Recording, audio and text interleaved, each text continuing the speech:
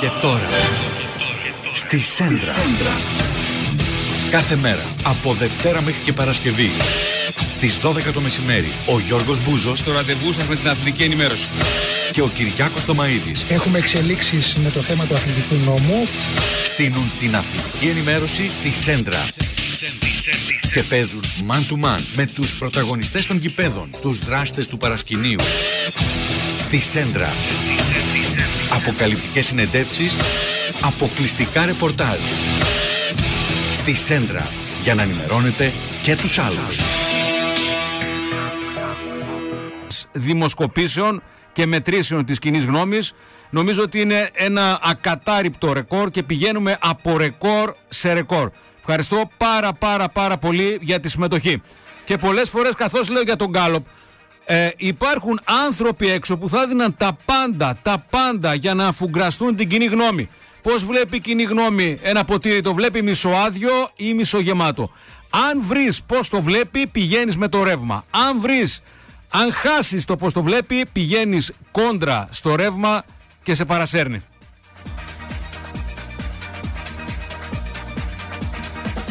Πάμε στον Γκάλοπ.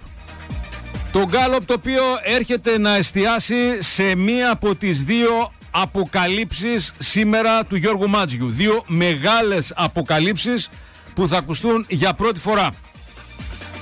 Τον Γιώργο θα τον έχουμε σε λίγο. Η πρώτη αποκάλυψη του Γιώργου Ιβάν Γιοβάνοβιτς για νέος προπονητής της εθνικής ομάδας. Ο Μάκης Γκαγκάτης αναλαμβάνει πρόεδρος, τον θέλει διακαώς, θέλει να τον κλείσει πολύ πριν αναλάβει, ώστε να τρέξει ο Γιοβάνοβιτς στην προετοιμασία της εθνικής και το ερώτημα για σας είναι συμφωνείτε με Ιβάν Γιοβάνοβιτς για νέο προπονητή της εθνικής ομάδας ναι ή όχι; Αυτό είναι το ερώτημα. Κωνσταντίνε, θύμισε μου λίγο Γιοβάνοβιτς, σε παρακαλώ. και δεν έχω κανένα πρόβλημα όσον αφορά τις ευθύνες που έχω εγώ σαν προπονητής. Το μεγαλύτερο πρόβλημα που έχω είναι ακριβώς αυτό που σας είπα στην αρχή. Επειδή έπρεπε να διαλέξω μεταξύ των ονείρων τους και, των, και της υγείας τους και επέλεξα το πρώτο. Και γι' αυτό συχαίνομαι τον εαυτό μου. Και γι' αυτό δεν έχω ιδέα πώς μπορώ αύριο να τους δω εγώ στα μάτια. Αλλά πάλι θα βρείτε το τρόπο να δικαιολογήσετε τα δικαιολογία όλοι, όλοι, όλοι, όλοι, όλοι που, που ασχολούνται με το επαγγελματικό ποδόσφαιρο. Καμία ομάδα δεν μας πήρε το πρωτάθλημα. Το χάσαμε μόνοι μας. Καμία. Αυτός είναι ο Ιβάν Γιοβάνοβιτ, ένας προπονητής που συγκεντρώνει μεγάλη ικανότητα και ένα απαράμιλο ήθος που τον ταύτισε τα, για δυόμιση χρόνια με τον ε, Παναθηναϊκό και νομίζω τον έχει ανεβάσει πάρα πάρα πολύ στην εκτίμηση της ελληνικής φύλαθλη κοινής γνώμης. Άρα το γκάλοπ είναι εκεί για σας. Instagram stories Μετρόπολης 955. Ο Γκαγκάτσης θέλει τον Ιβάν Γιοβάνοβιτς για νέο προπονητή στην εθνική ομάδα. Συμφωνείτε με Ιβάν ναι ή όχι; Instagram stories Μετρόπολης 955. Πάρτε μέρο, ψηφίστε. Η μία από τις δύο μεγάλες αποκαλύψεις σήμερα του Γιώργου Μάντζιου στην εκπομπή.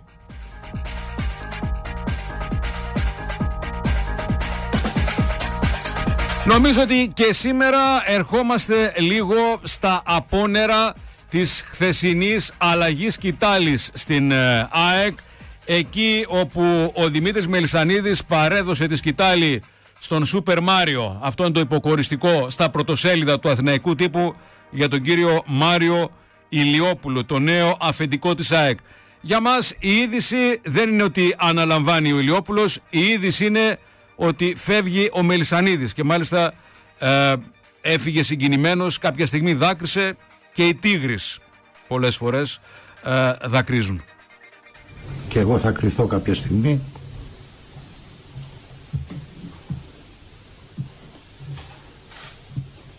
Ε, είμαι και συγκινημένος. Πρέπει να πω όμως ότι πιστεύω ότι η απόβαση που έχω πάρει είναι σωστή. Αυτή ήταν η συγκίνηση όταν τσάκισε ο Τίγρης. Εδώ να πω Μελισανίδης είναι 73 χρονών. Είναι η ηλικία, είναι κάποια θέματα υγείας. Κάποια στιγμή έρχεται αυτή η στιγμή που λες ή που λένε ή που σου απονέμουν έτσι παρηγορητικά ευδοκίμως τερματίσας τη σταδιοδρομία του. Τώρα το τι σημαίνει η είσοδος του Μάριου Ηλιόπουλου στο ελληνικό ποδόσφαιρο θα το δούμε πρέπει τον άνθρωπο να τον κρίνουμε από τις ε, πράξεις του. Τον χαρακτηρίζουν σκληρό, τον χαρακτηρίζουν απρόβλεπτο. Μένει να δούμε τι εικόνα θα παρουσιάσει στο ελληνικό ποδόσφαιρο ο Σούπερ Μάριο ή κατά κόσμον Μάριος Ηλιόπουλος. Καθώς έχουμε μία είσοδο ε, νέου αφεντικού στην ΑΕΚ, την ίδια στιγμή έχουμε νέα αφεντικά και στο Ανατρόμητο. Και μένεις να αναρωτιέσαι, λες καλά, συγγνώμη, το ελληνικό ποδόσφαιρο έχει γίνει τόσο ελκυστικό ώστε να προσελκύει επενδυτές. Ηλιόπουλος στην ΑΕΚ, ένας εφοπλιστής, ο Γιώργος Σταμούλας και ένας άνθρωπος του Real Estate, ο Δήμος Στασινόπουλος, είναι το δίδυμο που αναλαμβάνει τον Ατρόμητο. Για το Κέσκεσε Σταμούλας, Κέσκεσε Στασινόπουλος, ποιοι είναι ακτινογραφία λίγο αργότερα από τον Γιώργο Πετρίδη. Και την ίδια στιγμή που ένας Ηλιόπουλος μπουκάρει στην ΑΕΚ, ένας εφοπλιστής ο Σταμούλας παίρνει και μπαίνει στον ε, Ατρόμητο, στον Άρη του Καρυπίδη δεν κινείται φίλο. Και λέω στον Άρη του Καρυπίδη γιατί ο Καρυπίδης το δηλώνει παντού ότι θέλω επενδυτή, θέλω συμπέκτη. Το ερώτημα είναι πώς βρίσκει η ΑΕΚ, ε, άντε καλά η ΑΕΚ, πώς βρίσκει ο Ατρόμητος, γιατί δεν βρίσκει ο Καρυπίδης στον Άρη. Μήπως δεν θέλει ένα θέμα, είναι ένα ερώτημα. Ρωτάω μήπως δεν θέλει ο Καρυπίδης συμπέκτη στον Άρη και γι' αυτό δεν βρίσκει. Γιατί δεν γίνεται να μπαίνουν στην ΑΕΚ, να μπαίνουν στον Ατρόμητο και στον Άρη να μην εμφανίζεται απολύτως κανένας. Και προσέξτε το ανεσχετικό. Του χρόνου η πέμπτη θέση οδηγεί στην Ευρώπη. Με βάση την ποδοσφαιρική λογική από τη φετινή αγωνιστική περίοδο, η πέμπτη θέση ανήκει στον Άρη. Όμως έρχεται με κεκτημένη ταχύτητα ο Ατρόμητος, ο οποίος βάζει στις μηχανές του έναν εφοπλιστή που ξεκινάει κατευθείαν με τρεις μεταγραφές πρώτης γραμμής. Ατρόμητος παίρνει τον Καρλίτος από τη Λαμία, τον Φαφέρτα από την ΑΕΚ που έμεινε ελεύθερος και τον Κοσέλεφ, τον Πορτιέρο της Λαμίας. Την ίδια στιγμή στον Άρη του Καρυπίδη δεν κινείται φίλο. Και δεν είναι μόνο αυτό είναι ότι ο Καρυπίδης για να κάνει μεταγραφές πρέπει να εισπράξει και για να εισπράξει πρέπει να πουλήσει και το μόνο που έχει να πουλήσει είναι ο Μωρόν.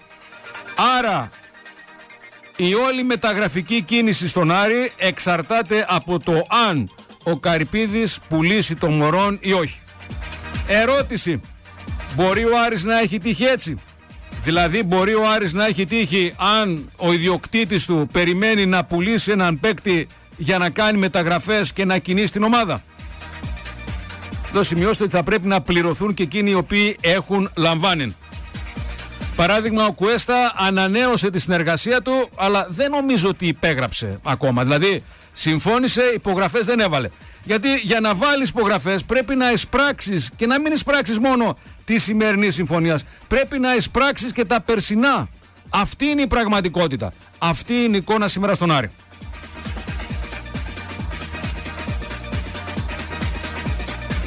Στον ΠΑΟΚ έχουμε ε, σιρήνες νομίζω αφού έκλεισε το θέμα Κωνσταντέλια έχουμε ε, σιρήνες οι οποίες ακούγονται και από Αγγλία και από Γερμανία και από Ιταλία γιατί το ρεπορτάζ που έρχεται από το εξωτερικό λέει ότι υπάρχει ενδιαφέρον για τον Κοτάση και από την Southampton και από την Augsburg και την Ίντερ και την Πάρμα.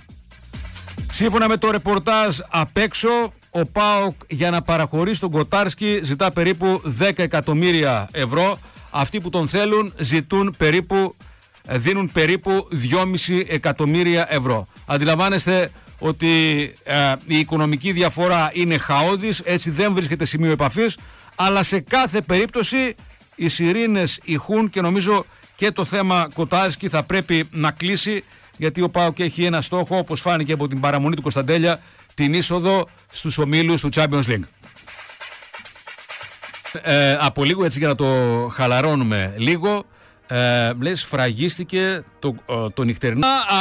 απλά πρώτα πρέπει να σας πω κάτι ότι στον 8ο όροφο του όνομα Hotel ξεκινάει την Παρασκευή 14 Ιουνίου, 8 το βράδυ, ένα ταξίδι γεύσεων βγαλμένο από τις παραδόσεις της Ιαπωνίας και την καινοτομία του Περού, το Nikkei Cuisine, το οποίο αναδύεται ως ένα μοναδικό γαστρονομικό φαινόμενο που υπόσχεται να συναρπάσει τιμή, Pairing session 45 ευρώ το άτομο, το οποίο περιλαμβάνει πιάτο καλωσορίσματος, δύο κυρίως πιάτα και κλείσιμο με συνοδευτικό γλυκό. Το κάθε πιάτο συνοδεύεται με κοκτέιλ pairing. Τηλέφωνο κρατήσεων, σημειώστε το αν θέλετε, γιατί οι θέσεις είναι εξαιρετικά περιορισμένες.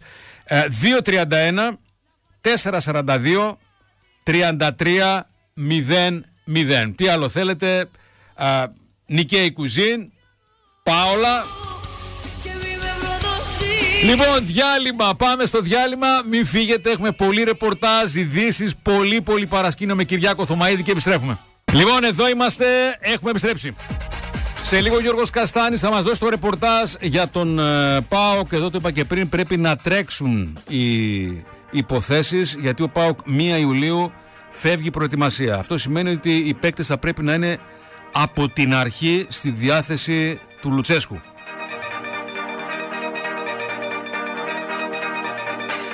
Να πάμε στην υπόθεση Γκιτσιούδη για, το, για τα μεταγραφικά του ΠΑΟΚ σε λίγο, ε, σε λίγο Γιώργος Καστάνης. Να πάμε στην υπόθεση Κοτάρσκι με το Γιάννη Γκιτσιούδη στην ε, γραμμή καθώς Southampton, Augsburg, Inter, Parma θέλουν το τερματοφύλακα του ΠΑΟΚ και μάλιστα εδώ γράφεται ότι ο ΠΑΟΚ ζητάει περίπου 10 εκατομμύρια ε, ευρώ. Γιάννη μου τι κάνεις, πώς είσαι; Μια χαρά, μια χαρά Γιώργο, εσύ.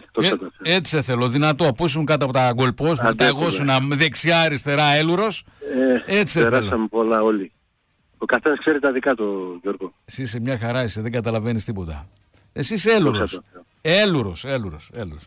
Λοιπόν, πάμε, στο, πάμε εδώ με κοτάρσι. Αρχίζουν να ακούγονται σιρήνες. Και πες μου τώρα εδώ, πρέπει να κλείσεις τα αυτιά του ο Πάοκ ή πιστεύεις ότι μ, πρέπει να ρίχνει καμιά ματιά να δει τι γίνεται; Κοίτα Γιώργο, να μην τα κλείσεις τα αυτιά του είναι ευκαιρία μια καλή καριέρα, μια καλή μεταγραφή. Ναι. Συμφέρουσα και οικονομικά πιστεύω. Ναι. Αλλά το θέμα είναι ότι πρέπει για να το δώσουμε πρέπει να βρούμε κι όλα όμως. Να έχουμε και κάτι από πίσω. Ναι. Μην ψάχνουμε τελευταία στιγμή πάλι και αρχίσουμε από το μηδέν. Αυτό θέλει οργάνωση και λίγο σκέψη. Αλλά μπράβο στον Κοτάρσκι και εντάξει είναι άξιος. Μακάρι να, να, να πετύχει κάτι καλό. Άρα εσύ λες ότι αν έρθει μια καλή πρόταση να τον δώσει ο Πάοκ. Λες Κοτάρσκι βρίσκουμε. Ναι, ναι, το Κοτάρσκι και τα θα βρούμε, αλλά πρέπει να τον βρούμε πρώτα κάτι από πίσω. Γιατί ναι. άμα θα φύγει, είμαστε με τον Ζήφκοβιτς, δεν έχουμε κάτι άλλο και το, το Αλικμανίδη. Ναι. Έτσι δεν είναι. Ναι. Και το τζιφτσί που έρχεται. Να έχουμε μια λύση έτοιμη. Ναι.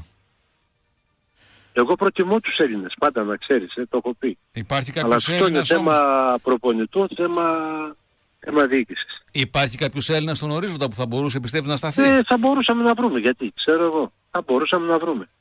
Πάντως ο Τσιφτσής, ο Τσιφτσής, ο νεαρός που έρχεται από την Τρίπολη, δεν νομίζω ότι ε, μπορεί Καλά, να πέσει κάτι στα μάτια. Όχι κατευθείαν, όχι κατευθείαν, αλλά ο Τσιφτσής πρέπει να σου πω ότι παλιά ήταν αυτή στον ΠΑΟΚ. Τον είχα εγώ στις ακαδημίες που είχα πάνω στα μετέωρα, ναι. ήταν πάρα πολύ καλός, ναι. έκανε προπονήσεις και τον θέλανε. Ναι. Αλλά μετά κάπου χάλασε η δουλειά ναι. και έφυγε και πήγε κάτω. Από τότε δηλαδή, ήταν τότε 17 χρονών, πόσο ναι. ήταν. Ναι. Ε, και έχει πολύ καλά στοιχεία και σωματικά Εντάξει, τώρα απλώς του λείπει εμπειρία, πρέπει να πάει να σηκώνει το βάρος της φανέλας, έχει άλλα προβλήματα, αλλά mm. πιστεύω θα βγει γρήγορα. Mm. Αλλά εκτός από αυτό να πρέπει να έχουμε και κάποιο, ξέρω εγώ, θα βασιστούμε στο Ζήφκοβιτς. Δύσκολο. Δεν θα πάρουμε κάποιον; Δύσκολο. Ε; Ε, γι αυτό, ναι, Δυσκολάκι. Ναι, τώρα... Δυσκολάκι. αυτό θα το αποφασίσουν άλλοι. Αλλά πρέπει να είμαστε έτοιμοι για να μπορούμε να ανταπεξέλθουμε σε όλες τις υποχρεώσεις. Εγώ το κρατάω όμως αυτό που λες. Λες ότι αν έρθει μια καλή πρόταση για τον Κοτάρσκι, πουλήστε τον, δώστε ναι, τον. Ναι. ναι, ναι, ναι. Γιατί να μην φύγει το παιδί, είναι, είναι ευκαιρία.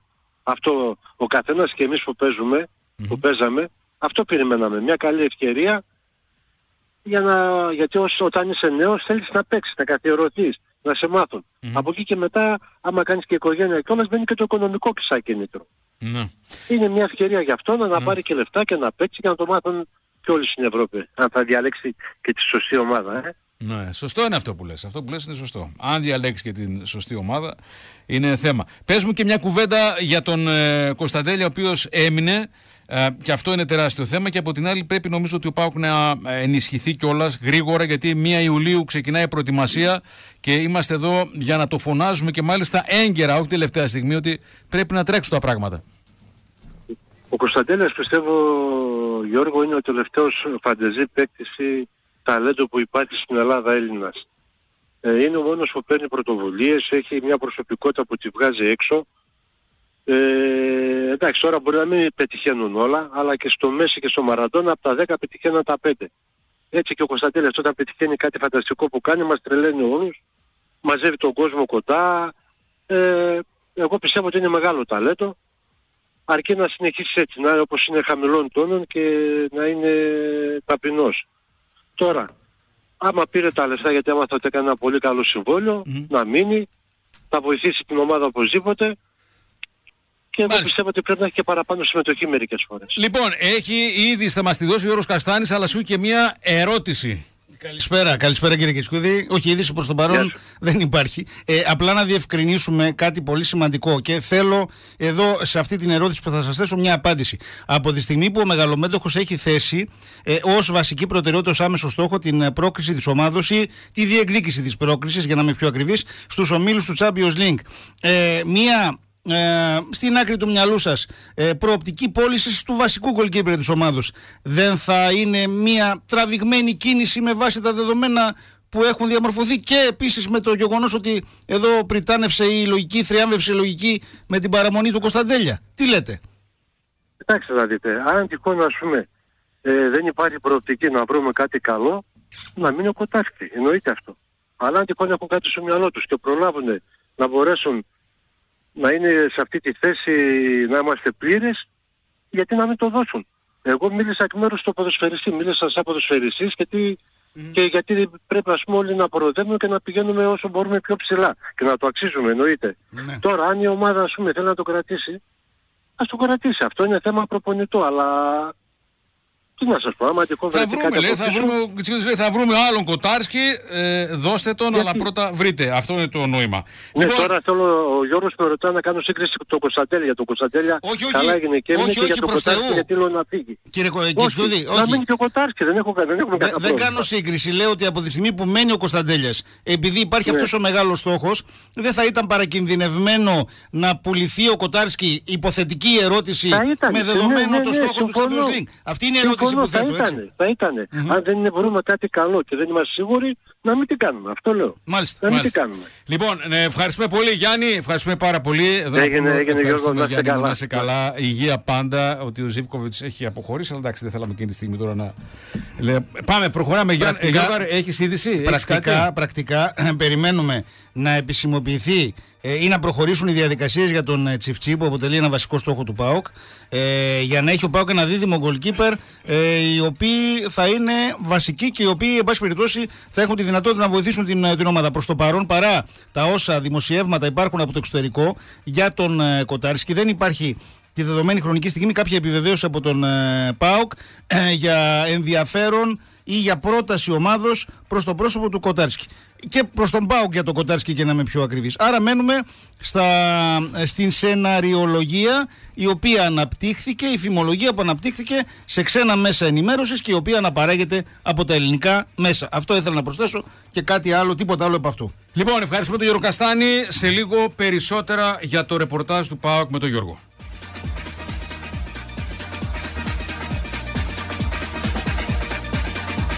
Λοιπόν, θέλω να πάμε στην ε, αποκάλυψη του Γιώργου ε, Μάτζιου. Την πρώτη ε, την φανερώσαμε μέσα από το γκάλο που έχουμε στα, στο Instagram, στα stories του Μετρόπολης 955.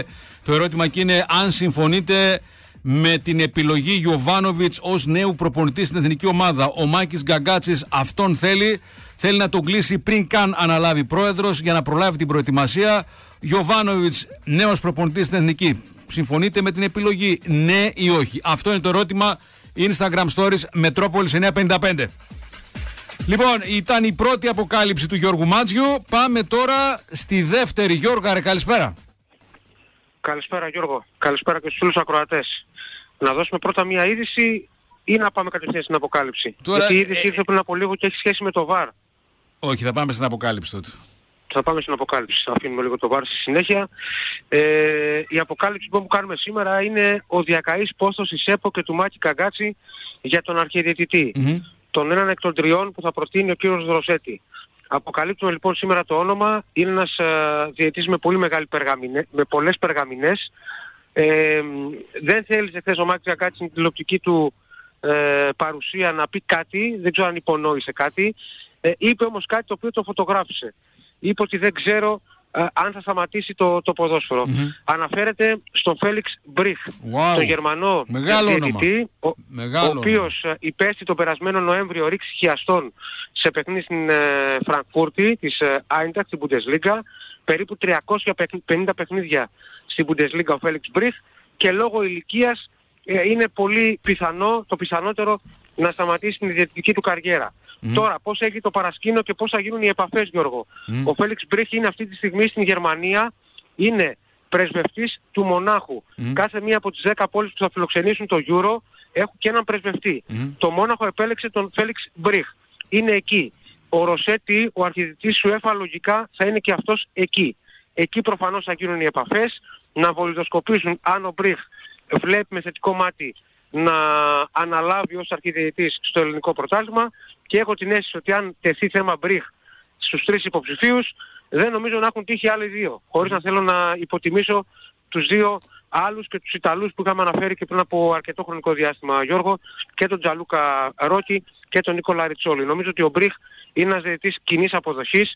Εγώ από όσο θυμάμαι και το θυμάται και ο κύριος Γκαγκάτης γιατί ήταν και διευθύνων σύμβουλος στον ΠΑΟΚ και έπαιξε πολλά τέρμπι του ΠΑΟΚ. Ε, αποθέωση από φίλους του ΠΑΟΚ και του Άρη για δύο τέρμπι που σφύριξε ο Μπριχ mm-hmm. απανοτά ΠΑΟΚ Άρης. Για φοβερή διαιτησία στον τελικό του βόλου μεταξύ της ΆΗ και του ΠΑΟΚ. Ε, νομίζω ότι είναι μακράν ο πιο α, αποδεκτός διαιτητής από κάθε ελληνική ομάδα. Ο Φέλιξ Μπριχ είναι νομικός, είναι αυτός που μέσα στον αγωνιστικό χώρο ξέρει πώς να επιβληθεί, ναι. ξέρει πώς να επικοινωνήσει με τους παίκτες, ε, αφήνει το παιχνίδι, είναι πάρα πολύ ωραίο αυτό και για το άθλημα και γενικώς βγάζει μια πολύ μεγάλη πώς θα το πω, δείχνει λίγο αρχοντικός, να το περιγράψω έτσι, Μάλιστα. σαν διδυτής. Λοιπόν, ο Φέλιξ αυτή η αποκάλυψη από τον ε, Γιώργο Μάτζιο, για τη δεύτερη θα κουβεντιάσουμε σε λίγο, γιατί ο Γιώργος έχει και κάτι για την εθνική ομάδα. Προχωράμε. Ευχαριστώ Γιώργα Ευχαριστώ τον Γιώργο Μάτζιο. Πάμε να δούμε, να σχολιάσουμε αυτή την αποκάλυψη για λίγο με τον κύριο Παναγιώτη Βαρούχα που είναι στην ε, γραμμή. Α, Παναγιώτη μου τι κάνεις, πώς είσαι, Πέρα. καλησπέρα, καλή εβδομάδα με υγεία. καλησπέρα, ε, καλά θα λες, ναι, ναι. Τι έγινε Γιώργο μου, τι έχουμε; Λοιπόν, αυτό που έχουμε είναι ένας φίλος σου, ο Φέλιξ Μπριχ, Σύμφωνα με το ρεπορτάζ που μας έδωσε πριν από λίγο ο Γιώργος Μάτζιο, θα είναι εκτός συγκλονιστικού απρόπτου. Ή να το πω διαφορετικά, αυτόν θέλει ο Γκαγκάτσης, αναλαμβάνοντας την προεδρία της ΕΠΟ, για νέο αρχιδιαιτητή. Πάρα πολύ ωραία, μπράβο και συγχαρητήρια στο κύριο Γκαγκάτση γιατί και εκτός από αυτό άκουσα και κάτι προτάσεις που έκανε σχετικά με τον τελικό, σχετικά όλα αυτά, μπράβο του, είναι προτάσεις οι οποίες εγώ τουλάχιστον τις, ε, μου αρεσουν Πάρα πολύ. Δηλαδή το τελικός να έχει, γιατί αν θυμάσαι πολύ καλά, σε μια πρωινή εκπομπή δική σου είχα πει σχετικά για τον αγώνα του τελικού ναι. σε ΟΑΚΑ και Καθατζόγλιο. Ναι. Έτσι. Ναι. Λοιπόν, να ετοιμαστεί και το Καθατζόγλιο. επιτέλους. Από ό,τι άκουσα ο κ. Βρούτσης θέλει να το φτιάξει το Καθατζόγλιο. Άρα λοιπόν... Αφού το αφήσανε και ρήμαξε πρώτα, τώρα το φτιάξουμε. Ε, μπράβο, αυτό είναι φαινόμενο ελληνικό. Άρα λοιπόν, ή ο ΆΚΑ ή Καθατζόγλιο ναι. και στο κάτω-κάτω, αν είναι δύο ομάδες από τη Θεσσαλονίκη στο Καθατζόγλιο. Ναι. Αν είναι δύο ομάδες από την Αθήνα στο ΆΚΑ. Αν είναι μία και μία κλήρωση. Κα, μπράβο. Και μπράβο στον κύριο Καγκάτσι. Εντάξει, να σου πω κάτι, δεν είναι από ό,τι και ό,τι. Ναι. Προέρχεται από τον Βασίλη τον καγκατσι ο οποίος για μένα ήταν ένας από τους καλύτερους παράγοντες. Ναι. Εντάξει, μην το κρύβουμε αυτό. Ναι. Και ο άνθρωπος ο οποίος πήγε την Εθνική και πήρε το Euro. Γιατί αυτό δεν έχω ακούσει ποτέ να ναι. το λένε. Ναι. Έτσι. Ναι. Καλός και Άγιος ο Ρεχάγκελ στα θέματα τα τεχνικά και τα διάφθα, αλλά όλο το γύρω γύρω του Ρεχάγκελ ο Βασίλης ο Γαγκάς το έχει φτιάξει. Ε, για, ο Μπριχ, αν έρθει τελικά ο Μπριχ, όπως αποκάλυψε... Ο Μπριχ καταρχάς είναι... έχει έρθει πολλές φορές στην Ελλάδα σαν διαιτής. Ναι.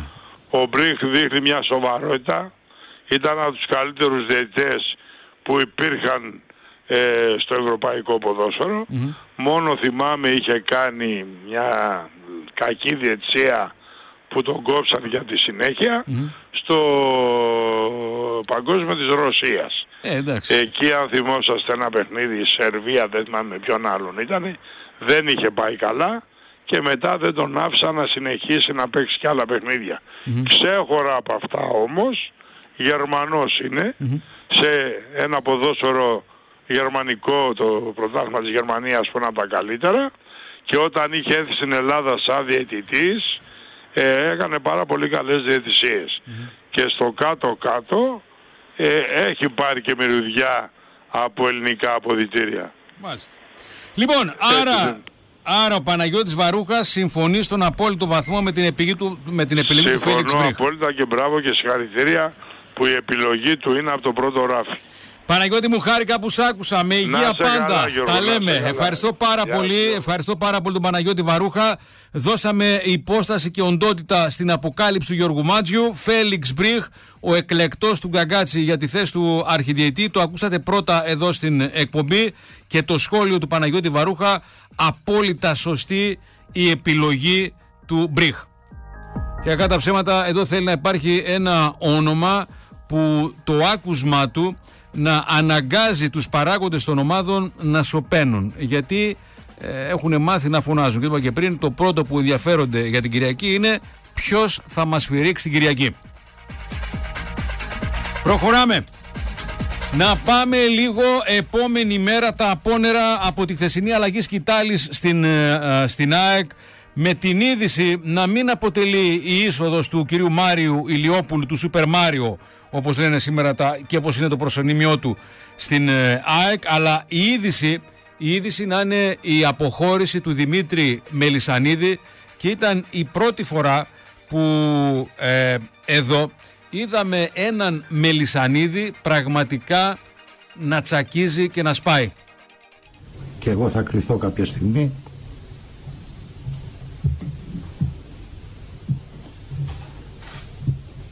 είμαι και συγκινημένος. Πρέπει να πω όμως ότι πιστεύω ότι η απόβαση που έχω πάρει είναι σωστή. Η συγκίνηση του Δημήτρη Μελισανίδη, ο οποίος πραγματικά έσπασε όταν αδειάζει η κλεψίδρα, τα πράγματα γίνουν εντελώς ε, διαφορετικά. Ακούσατε εδώ έναν συγκινημένο Μελισανίδη και δέστε το κοντράστ από αυτό που είχαμε συνηθίσει. Τι ανησυχία να υπάρχει; Τι ανησυχία να υπάρχει; Τρελαθούμε τελείως. Στους Μαου Μάου. Στους Μαου Μάου. Η ΑΕΚ μπήκε μέσα να παίξει μπάλα και μπήκαν και το διακόψαν. Μόνο Μαου Μάου. Άμα είναι ανθρωποφάγη και Μαου Μάου, ας τολμήσουμε. Λοιπόν, ο Μελισανίδης που όλοι ξέραμε και ο Μελισανίδης που είδαμε χθες, αυτή είναι η είδηση αποχώρησή του. Ο Σούπερ Μάριο είναι αυτός που μπαίνει. Ο Κυριάκος Τωμαίδη όμως έχει πολύ παρασκήνιο. Ο Δημήτρης Μελισανίδης, ο οποίος ήδη αρμενίζει Κυριάκο. Καλησπέρα, τι κάνεις; Ναι, εκτός Ελλάδος και μάλιστα για μεγάλο χρονικό διάστημα, για περίπου 15 μέρες, ναι. για να ξεκουραστεί. Ε, πρέπει να πούμε ότι οι δύο αιτίες που αποκάλυψε ο Δημήτρης Μελισσανίδης χθες ήταν η βία και η ηλικία. Ναι. Γι' αυτό φεύγει από την ΑΕΚ. Ναι. Οπότε κανείς δεν μπορεί να πει τίποτα σε δύο τόσο προσωπικά ζητήματα. Όχι. Και είναι 73 χρόνων ο Μελισσανίδης, ε. Ναι, ταλαιπωρημένος σε ό,τι αφορά το θέμα της υγείας, ε, όπως είπε ο ίδιος. Ναι. Ε, εν πάση περιπτώσει, ε, έχει και μία πίεση, από όσο γνωρίζω, και από το συμπέθερό του που είναι γιατρός και από τη σύζυγο ε, να εγκαταλείψει τα ποδοσφαιρικά, ε, να μην συνεχίσει να κουράζεται με όλα Δεν ξέρω πώς θα τον ωφελήσει, επειδή έχουν συζητήσει και προσωπικά μαζί του, ένας άνθρωπος συνδεδεμένος με το ποδόσφαιρο. Δεν ξέρω πώς θα είναι όταν θα του λείψει το ποδόσφαιρο, παρότι είπε και στη συνέντευξή του ότι θα κρατήσω τη σουήτα μου. Ναι. Και ό,τι συμβουλή μου ζητηθεί θα τη δώσω, αλλά δεν νομίζω ότι αυτό αρκεί στο Μελισανίδη που είναι γεννημένος αρχηγός. Μάλιστα. Ε, Κυριάκο, να ρωτήσω το εξής. Η είδηση βέβαια είναι η αποχώρηση του Μελισανίδη, αλλά εμείς είμαστε υποχρεωμένοι να βλέπουμε και την επόμενη μέρα με τον Μάριο Λιόπουλο. Εσύ έχεις αίσθηση των πραγμάτων πώς υποδέχθηκαν οι φίλοι της ΑΕΚ αυτή την αλλαγή σκητάλης; Κοίταξε, καταρχήν ο κ. Φιλιόπουλος ε, διέψευσε σαφώς κάποια τρόλ του διαδικτύου ότι είναι Ολυμπιακός. Ναι. Έχει Διότι... κουμπά... Εσύ αποκάλυψες όμως ότι έχει κουμπάρο το Μαρινάκι. Καλά, αυτό δεν σημαίνει κάτι. Δεν σημαίνει κάτι. Πράγματι, τον πάντρεψε ο Μαρινάκης το 2003 στη Σαντορίνη. Ναι. Και μάλιστα ήταν και κολλητή για ένα διάστημα μέχρι πριν από ένα χρόνο όπου διαφώνησαν για πολιτικά ζητήματα και πλέον δεν μιλάνε καν. Ναι. Α, α, αλλά αυτό δεν, δεν σημαίνει ότι είσαι Ολυμπιακός επειδή έχεις κουμπάει το Μαρινάκη. Άλλωστε το 2003 ο Μαρινάκης δεν είχε καμία σχέση με τον Ολυμπιακό. Μάλιστα. Άρα Μάριος Απλώς ήταν Ηλιόπουλος. Ολυμπιακό. Ναι, Μάριος Ηλιόπουλος, κουμπάρος του, ε, του Μαρινάκη, αλλά σήμερα λες δεν μιλάνε. Ναι, δεν μιλάνε. Εδώ και ένα χρόνο περίπου δεν έχουν επαφή, αλλά για άλλα ζητήματα, όχι σχετικά με τον αθλητισμό ή τα ποδοσφαιρικά ή τα επιχειρηματικά, για πολιτικά ζητήματα. Ναι. Διαφώνησαν και ξέρεις, επειδή και οι δύο είναι αψείς, Ναι. και ο Μαρινάκης και ο Ηλιόπουλος, Ναι. η διαφωνία εύκολα προχώρησε στο απροχώρητο που λέμε. Σωστό, σωστό. Σωστό. Ναι. Ε, είναι, είναι ο Ηλιόπουλος και είναι άνθρωπος που δεν σηκώνει μοίρα στο σπαθί του. Μμμ. Είναι απρόβλεπτος, το είπαμε και χθες, είναι ρηξικέλ. Αυτό που θα διαπιστώσουμε, ε, στη συνέντευξη τύπου ήταν πολύ μαζεμένος και αγχωμένος και ξέρεις είναι η πρώτη φορά που σε τόσες πολλές κάμερες μπροστά εμφανίζεται. Δεν ήταν εύκολο ο άνθρωπος να έχει την άνεση ενός ανθρώπου που έχει εμφανιστεί πάρα πολλές φορές. Ναι. Ε, εντάξει, θα, θα τον δούμε, θα τον δούμε στην πράξη. Πάντως είναι άνθρωπος που έχει μετρητά, όπως λέει η αγορά, η ναυτιλιακή αγορά, έχει πολλά μετρητά. Ναι. Ε, ξέρεις, η ακτοπλοεία είναι σαν τα μίνι μάρκετ της αγοράς, της, ε, της γειτονιάς, με συγχωρείτε. Ε, αυτό, είναι, αυτό είναι η ακτοπλοεία. Είναι, τα μίνι, μα- είναι πολλά μίνι μάρκετ της, ε, της γειτονιάς. Ναι. Ενώ ο εφοπλισμός είναι τα νιολόγια, τα μεγάλα καράβια κλπ. Ε, στα, μι- στα μίνι μάρκετ της, ε, της γειτονιάς εισπράττεις μετρητό πάρα πολύ γρήγορα, γρήγορα άμεσα και εκείνη τη στιγμή. Μμμ. Αζγέρες, ε, μετακινήσεις από νησί σε νησί, ο κόσμος πληρώνει με μετρητό. Μετρητά. Στις- Στις άλλες περιπτώσεις μιλάμε για το χρήμα που ταξιδεύει. Μάλιστα. Ε, λέγεται ότι ο κύριος Ηλιόπουλος είναι από τους ανθρώπους που θα μπορούσε να δώσει από τα πετούσε και Μελισανίδης. Ναι. Ένα τέτοιο ποσό που δίνει των 90 εκατομμυρίων ευρώ. Πολλά μετρητά. Έχει πολλά μετρητά. ο Ηλιόπουλος. Να ρωτήσω κάτι ε, ακόμη. Πώς υποδέχθηκαν, αν έχεις αίσθηση, αυτή την αλλαγή σκητάλης στην ΑΕΚ, ο Αλαφούζος για παράδειγμα, ε, ο Μαρινάκης, μ, εδώ στον ΠΑΟΚ; Κοίταξε, ο Μαρινάκης ε, δεν έχει καλή σχέση με τον Ηλιόπουλο όπως είπαμε, παρότι κουμπάρος του. Ναι. Δεν έχει καλή σχέση. Και με τον πατέρα είχε εξαιρετική σχέση ο Μαρινάκης όταν πήρε τον Ολυμπιακό, αλλά μετά οι σχέσεις έγιναν οι χειρότερες. ναι. Ο Αλαφούζος δεν ξέρει τον Ηλιόπουλο. Μμμ. Με την έννοια ότι δεν είναι στον ίδιο κλάδο. Εφοπλιστής ο ένας, ακτοπλός ο άλλος. Ο άλλος. Ε, ο Σαββίδης δεν έχει καμία σχέση με τις επιχειρηματικές δραστηριότητες του, του Ηλιόπουλου, δεν θα μπορούσε να το ξέρει εξ αντικειμένου. Μμ. Ε, και, εν πάση περιπτώσει, είναι ένας άνθρωπος που από τον Ολυμπιακό διέρεαν χθες το βράδυ Ναι. ότι έχει εμφανιστεί σε φιέστες του Ολυμπιακού Ναι. ε, αλλά όπως θα μπορούσε να εμφανιστεί σε φιέστες του ΠΑΟΚ ή της ΑΕΚ ή του Παναθηναϊκού επειδή τον καλούσαν. Μμμ. Αλλά γήπεδο δεν τον έβλεπε κανείς. Ούτε Καραϊσκάκη, ούτε Φιλαδέλφια, ούτε πουθενά άλλο. Μάλιστα. Γήπε- Γήπεδο όχι. Γήπεδο όχι. Οπότε, Κυριάκο, πρέπει να περιμένουμε να το μάθουμε. Ε; Καλά, αυτό παίζει μικρό ρόλο. Μιλάμε για έναν άνθρωπο που ε, δύο φορές ήρθε μπροστά σε μια οικονομική καταστροφή και κατάφερε να το γυρίσει τον μπα. Μμ. Ε, άνθρωπος που ε, δεν, δεν σταματάει πουθενά. Ε, είναι φανερό ότι τα τελευταία χρόνια έκανε πάρα πολλά χρήματα και από την Βενεζουέλα και από την ακτοπλοεία. Μμ. Ε, είναι ρισκαδόρος. Ξεχνάτε, δεν είναι μεγάλος, είναι 54 ετών. Μμ. Και όσοι τον ξέρουν λένε ότι είναι πάρα πολύ ρηξοκίνητος. Για να καταλάβετε η πρώτη διαφωνία με τον Μαρινάκη Μμ. ήταν όταν πιλοτάρισε, γιατί ε, πιλοτάρει κιόλας, Μμ. δεν έβαλε μέσα στο αεροπλάνο, ε, που είχα ένα μικρό αεροπλάνο, και ο Μαρινάκης του είπε δεν ξανάρχομαι μαζί σου μεταξύ σοβαρή και αστείου. Πώς πιλοτάρισες; Φοβήθηκε δηλαδή. Ε, τι γίνεται. Μάλιστα. Λοιπόν, σούπερ αποκαλύψεις με πολύ παρασκήνιο από τον ε, Κυριάκο Θωμαίδη. Κυριάκο μου, ευχαριστώ πάρα πάρα πολύ. Εφ- ευχαριστώ πάρα πολύ τον Κυριάκο Θωμαίδη. Όπως πάντα, όλο αυτό το παρασκήνιο που πολλές φορές είναι αυτό που καθορίζει και το τι γίνεται στο προσκήνιο. Διαφημίσεις, μη φύγετε, επιστρέφουμε. Λοιπόν, εδώ είμαστε, έχουμε επιστρέψει. Πάμε γρήγορα γρήγορα στον μοναδικό ανεπανάληπτο θριαμβευτή των ε, ευρωεκλογών ο οποίος ε, σάρωσε, σαρωτικός Γιώργος Αυτιάς ο οποίος ξεπέρασε τις 300.000 ψήφους. Γιώργο μου καλησπέρα και συγχαρητήρια. Είσαι πρωταθλητής. Ο Πάουκ στο γήπεδο, εσείς ευρωεκλογές. Καλησπέρα στη Θεσσαλονίκη μας, στη Βόρεια Ελλάδα. Ε, η πλάκα έχει ως εξής. Ως μαθητής γυμνασίου έζησα πρώτη φορά το πρώτο κύπελο του ΠΑΟΚ. Ναι. Ως φοιτητής έζησα το πρώτο πρωτάθλημα. Ως δημοσιογράφος το δεύτερο πρωτάθλημα. Ως παρουσιαστής το τρίτο πρωτάθλημα. Ναι. Και ως Ευρωβουλευτής το τέταρτο πρωτάθλημα του ΠΑΟΚ. Φοβερό. Είδε σου κάνει διάλεξη την κατάλληλη ομάδα και βγήκες άρρωσες. Ε... Ακούς, δηλαδή δεν υπάρχει αλλά πρωταθλητής, πρωταθλητής είναι αυτός ο υπέροχος κόσμος.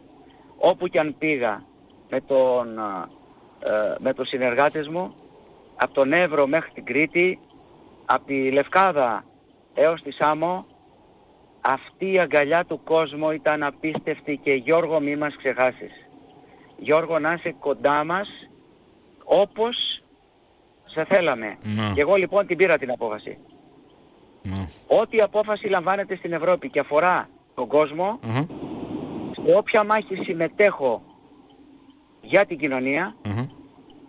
θα το λέω στην τηλεόραση. Κατά πάσα πιθανότητα Σαββατοκύριακο. Δηλαδή θα πηγαίνω καλε- καλεσμένος και Ναι. θα αναλύω Ναι. τι είναι αυτές οι οδηγίες. Δεν το έχει κάνει κανείς. Ναι. Λέω δεν το έχει κάνει κανείς. Δεν θέλω να επικρίνω κάποιον. Ναι. Αλλά δεν πρέπει να μάθει ο ελληνικός λαός για ποιο λόγο μας έστειλε εκεί πάνω. Ναι, αυτό είναι Δεν αλήθεια. πρέπει να μάθει ο ελληνικός. Είναι σαν να λες, ας πούμε, κέρδισε ο ΠΑΟΚ 3-0 και να μην έχει δει τα γκολ. Ναι. Κατάλαβες τι λέω τώρα. ε; το απλοποιώ δηλαδή τόσο πολύ. Μια Πρέπει χαρά λοιπόν το να πας. ξέρει ο Το κόσμος. πας μια χαρά. Και επειδή το έχεις απλοποιήσει, γι' αυτό παίρνεις και τις 300.000 ψήφους. Αν δεν το έχεις απλοποιήσει, δεν τις έπαιρνες. Απλά πράγματα. Όταν λοιπόν μου έρθει εμένα η οδηγία που αφορά και θα δώσω μάχη για να γίνει καλύτερη σε ό,τι αφορά την Ελλάδα, Μμμ. θα πρέπει να εξηγήσω στον κόσμο ότι αυτή η οδηγία έλεγε αυτό, πετύχαμε αυτό, Ναι. θα μας συμβεί αυτό και έχουμε περιθώρια βελτίωσης για αυτά. Μμμ. Και από ό,τι φαίνεται μάλλον, μάλλον το οικονομικό θα πέσει στους ώμους μου. Μάλλον. Ω, Ένα, σε αυτό είσαι εξπέρ όμως, ε. Είσαι εξπέρ σε αυτό. Το να αναλύεις τα Πάντα οικονομικά. διαβάζουμε. Πάντα διαβάζουμε και τα τελευταία χρόνια Μμμ. έπρεπε να μάθω πολύ καλά και την διεθνή οικονομική ορολογία ε, και στην ε, αγγλική και στη γαλλική γιατί καταλαβαίνεις ότι αυτά έχουν ιδιαίτερη σημασία. Είναι κάποιες λέξεις οικονομικές Μμμ. που παίζουν πολύ σπουδαίο ρόλο. Μμμ. Να το ξέρεις αυτό. Για πες μία. Ε, ε, μία, μία λέξη. Πες μία Η λέξη. αρμοδιότητα της αρμοδιότητας στη φορολογία. Ω, αυτό είναι δύσκολο. Αυτό είναι το δυσκολότερο. αυτό είναι δύσκολο. Η αρμοδιότητα της αρμοδιότητας είναι ποιος φορολογεί, γιατί φορολογεί, ποιον φορολογεί και με ποια κριτήρια. Να, αυτό είναι δύσκολο. Εκεί θα γίνει Γιώργο. μάχη. Ναι. Διότι η Ελλάδα θα πρέπει ε, να δει αρκετά πράγματα. Για παράδειγμα, να δω την ακρίβεια. Μμ. Ε, η αρμοδιότητα της αρμοδιότητας επιβολής των τιμών. Γιώργο, Η αρμοδιότητα μπήκε. της αρμοδιότητας- Άστο, μπήκες πολύ δυνατά. Μας σε καταλαβαίνω, είσαι πολύ ερμητικός, ενθουσιώδης, έρχεσαι με κεκτημένη ταχύτητα, έχεις εφαλτήριο πάνω από 300.000 ψήφους που σε στέλνει σαν πύραυλο μέσα. Είναι υποχρέωση. Υποχρέωση στην κοινωνία. Ξέρεις τι να σε αγκαλιάσει και να σου λέει Γιώργο μου, θέλω αυτό, πρέπει να γίνει αυτό. Όταν πήγα βόρεια έδεια, ξέρεις τι μου είπανε; Μμμ. Αν πάει κάποιος συγκεφαλικός στην Εδιψό μέχρι να πάει στη Χαλκίδα έχει τελειώσει. Γιατί είναι δύο ώρες δρόμος. Φτιάξε θαλάσσιο ΕΚΑΒ. Και το θαλάσσιο ΕΚΑΒ σε λίγες μέρες είναι πραγματικότητα Μμ. και με φωνάζουν να το εγκαινιάσω. Μπράβο, Τζόρτζ. Και εγώ από θεμνότητα λέω όχι. Θα το εγκαινιάσει η οικογένεια της οποίας θυσιάστηκε άνθρωπος. Εγώ απλά έβαλα πλάτη αλλά ρωτάω 20 χρόνια τι κάνανε μωρέ; Έπρεπε να πάω εγώ στην προεκλογική περίοδο για να γίνει πραγματικότητα αυτό που ζητάγανε οι άνθρωποι. Έχεις δίκιο, Γιώργο. Έχεις δίκιο. Και να σου κάτι, αυτό είναι ψήλος στα άχυρα. Είναι τόσα τόσα πολλά σε όλη την Ελλάδα που πραγματικά Ε, είναι δύσκολο να τα επίσης. παρακολουθήσει. Επίσης, θα πάω σε 13 περιφέρειες. Δημόσια δηλώνω ότι ξεκινώ από την Κεντρική Μακεδονία και από τον Απόστολο Τζιτζικώστα. Είναι ο άνθρωπος ο οποίος έχει εξασφαλίσει τα μεγαλύτερα κονδύλια, τα μεγαλύτερα κονδύλια για τη Μακεδονία μας και είναι ο πρωταθλητής στην απορρόφηση κοινοτικών πόρων. Και του αξίζει λοιπόν ένα δημόσιο μπράβο. Ξεκινώ από εκεί, από τον Απόστολο της Δικώστα, μετά πιάνω νησιά στις 13 περιφέρειες από ένα μεγάλο Για να φέρουμε την Ευρώπη στην Ελλάδα πια. Εμένα με στείλαν οι Έλληνες απάνω. Εγώ τι θα στείλω πίσω, για να ξέρουνε. Μπράβο, μπράβο Γιώργο, μπράβο. Μπράβο, είσαι πολύ αποφασισμένος και ενθουσιώδης. Τούμπα παίζουν πότε θα πας στην Ευρώπη, πότε θα την πας στην Τούμπα; Ε, και βέβαια μέσα στα θέματα είναι και το γήπεδο του ΠΑΟΚ, έτσι είναι. Τεράστιο θέμα. Για πες. Να τελειώνουμε. Ναι. Ε, ναι. Γιατί, έχεις, γιατί τόσα χρόνια ακούω γήπεδο, γήπεδο, έπρεπε τώρα, είδες το Παπαρένα, ναι. είδες η Άκη μια γηπεδάρα. Γιατί να μην έχει και ο Άρης ωραίο γήπεδο; Ναι. Γιατί να μην έχει αν θες και ο Παναθηναϊκός ωραίο γήπεδο; Ο Ολυμπιακός τσακα τσακα το κάνανε στους Ολυμπιακούς αγώνες, mm-hmm. του καραϊσκακη Και είναι υπερσύγχρονο. Να έχουν οι πέντε μεγάλες ομάδες της ελλαδος μεγάλο γήπεδο, θα πετάει ο Άρης και ο ΠΑΟΚ. Θα πετάνε, θα πετάνε φωτιές στην κυριολεξία με το νέο γήπεδο.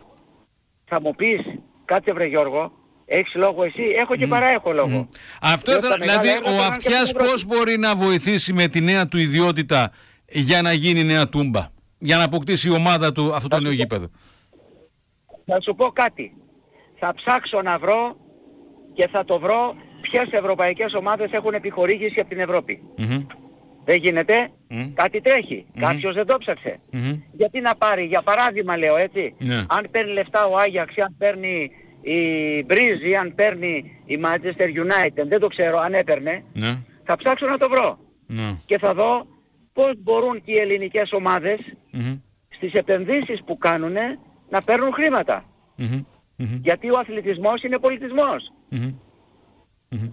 Δηλαδή, πώς να σου το πω, δώστε μου, επειδή όσα αυτιά με έχετε, ναι. ανοίξτε μου τα μάτια λέω τώρα, να λειτουργούν οι δύο αισθήσεις άριστα.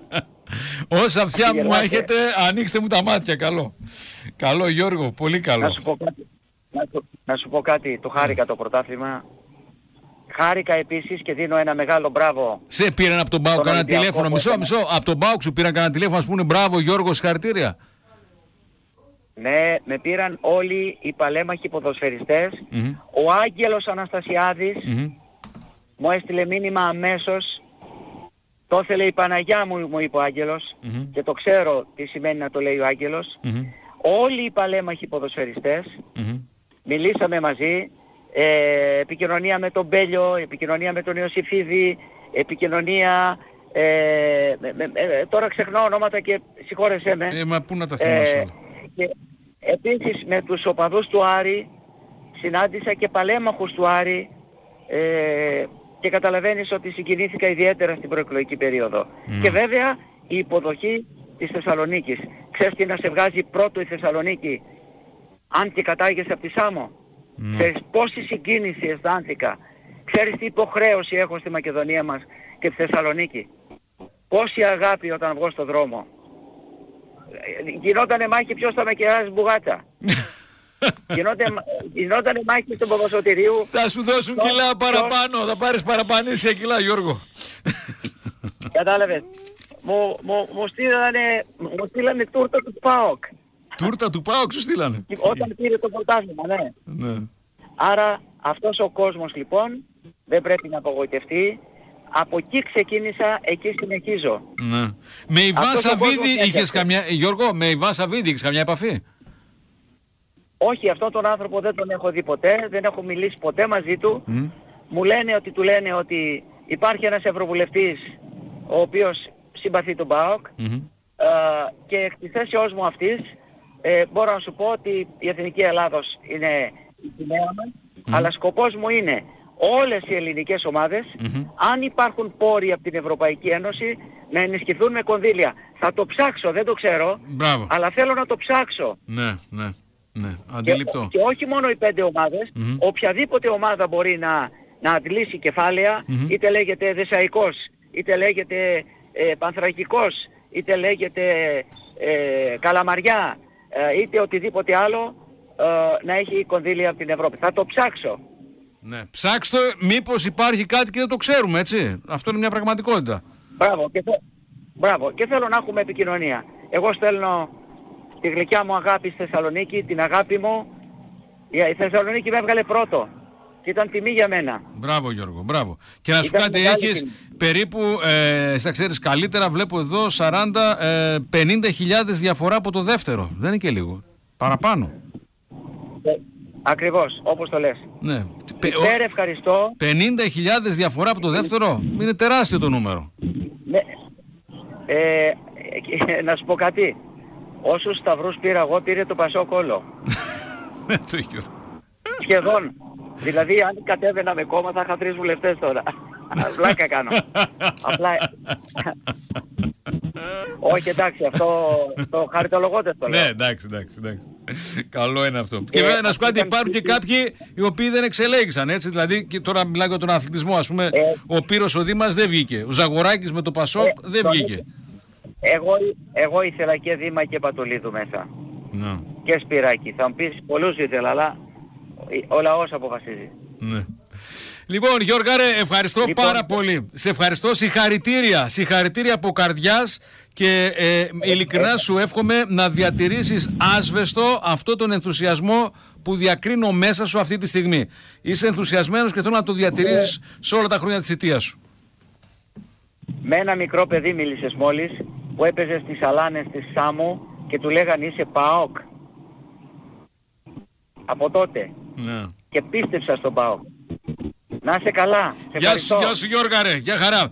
Λοιπόν, αυτός ήταν ο Γιώργος Αυτιάς, απόλυτος θριαμβευτής. Λέει, πήρα ε, σταυρούς, όσους δεν πήρε, λέει, ολόκληρο το Πασόκ, τους πήρα, λέει, μόνος μου.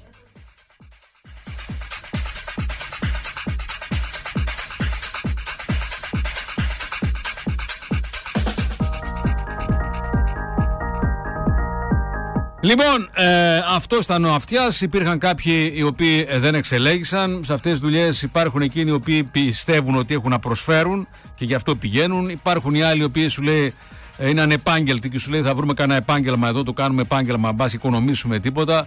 Να, δεν μπαίνει και λίγα ένας ευρωβουλευτής. Περίπου ε, τα μεικτά του είναι κοντά στις 10.000 ευρώ. Αν βάλεις τα γραφεία, αν βάλεις τα αεροπορικά, τους υπαλλήλους, τε- τα τηλεφωνικά κτλ. Το ποσό εκτοξεύεται πολύ πολύ πάνω. Και υπάρχουν εκείνοι οι οποίοι γνωρίζουν τι σημαίνει η Ευρώπη και θέλουν να βάλουν ένα λιθαράκι. Υπάρχουν εκείνοι που δεν ξέρουν να μιλήσουν αγγλικά και σου λέει ας πάω κι εγώ εκεί να πάρω κάνα μεροκάματο πώς να, να τη βγάλουμε και σήμερα και για αύριο έχει ο Θεός. Δεν λέω για όλους αλλά υπάρχουν και οι δύο. Και αυτοί οι οποίοι μπορούν και έχουν μια οντότητα και υπάρχουν εκείνοι οι οποίοι δεν ήξεραν να τους πεις σε Ηνωμένα Ευρώπη και και σε ποιον το Ευρωκοινοβούλιο και αν πέρασε ποτέ απ' έξω. Δεν το ήξεραν, αλλά ήθελαν να μπουν μέσα. Για να προσφέρουν, όχι. Κονόμα. Προχωράμε.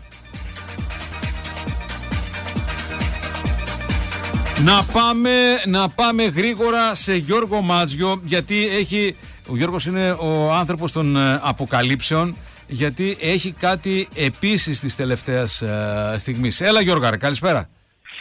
Καλησπέρα Γιώργο, καλησπέρα στους ακροατές. Και είναι και κάτι το οποίο θα το δούμε μπροστά μας. Το είχαμε κουβεντιάσει γιατί περιμέναμε να τελειώσουν οι ευρωεκλογές για να δούμε πώς θα, θα μπει επιτάπητος στην επικαιρότητα. Αναφερόμαστε στην περίφημη σύμβαση του VAR, η Ναι. οποία λύγει τον ερχόμενο Σεπτέμβριο και είναι νούμερο ένα θέμα στην ατζέντα και του κ. Καγκάτση και της Λίγκας και του Υπουργείου. Θα υπάρξει λοιπόν μια συνάντηση μεταξύ τεσσάρων, του κυρίου Λισάνδρου, του κυρίου Καγκάτση, του κυρίου Παπασεργίου, είναι ο Υπουργός Ψηφιακής Διακυβέρνησης και του κυρίου Βρούτσι. Οι πληροφορίες λένε ότι είναι προς θετική, ε, θετικό το, το κλίμα για να ανανεωθεί, να ανανεωθεί η σύμβαση του VAR. Η αποκάλυψη που κάνουμε σήμερα είναι το κοστολόγιο το επιπλέον το οποίο κουβεντιάζεται και μένει να φανεί αν θα το πληρώσει η Λίγκα ή η κυβέρνηση για τα δύο στοιχεία τα οποία θα κάνουν το βάρο ακόμη πιο, να το πω έτσι εντός εισαγωγικών αδέκαστο. Ποιο είναι αυτό; Είναι το ημιαυτόματο offside που έφερε ο Κολίνα και η FIFA και είναι και το Goal Line Technology. Το κόστος λοιπόν αυτό είναι περίπου 1,2 με 1,5 εκατομμύρια ευρώ. Μένει να φανεί λοιπόν αν αυτό το κόστος θα το επομιστεί η Λίγκα, δηλαδή η ΠαΕ ε, των ομάδων ή αν θα το καλύψει και αυτό το κόστος η, η κυβέρνηση. Από αυτό που μαθαίνουμε ε, θα ανανεωθεί η σύμβαση του ΒΑΡ. Έχουμε κάποιους μήνες μπροστά μέχρι το Σεπτέμβριο που λύγει, αλλά νομίζω ότι θα τεθεί επιτάπητο το πολύ πιο σύντομα και το θέμα θα έχει τελειώσει μέχρι και τα τέλη του, του Ιούνιου, Γιώργο. Μάλιστα. Ευχαριστώ πάρα πολύ. Ευχαριστώ πάρα πολύ. Εδώ θέλω να το πω ότι έρχεται η κυβέρνηση και υποχρεώνει εμένα, εσένα, εσάς, τον Ψιλικατζή εδώ απέναντι, το Γαλακτοπόλη, το Φούρναρη, τον οποιονδήποτε, να πληρώσουμε εμείς για να παίζει μπάλα ο Σαβίδη, ο Αλαφούζος, ο Μελισανίδης που έφυγε, ο Σούπερ Μάριο και όλοι, ο Καρυπίδης και όλοι οι υπόλοιποι. Παιδιά, το βάρο το πληρώσετε από την τσέπη σας. Εσείς παίζετε. Εσάς αφορά. Και πραγματικά είναι εξοργιστικό πώς έρχεται μια κυβέρνηση να υποχρεώσει τον Έλληνα φορολογούμενο να πληρώσει τα σπασμένα που παίζουν οι μεγαλοειδιοκτήτε ποδόσφαιρο. Αυτά δεν γίνονται πουθενά. Άμα δεν το μπορείς να το υποστηρίξεις, μην το βάζεις. Και έλα να επομιστείς την ευθύνη. Δεν μπορώ να πληρώνω εγώ και ο άλλος τα εκατομμύρια του βαρ.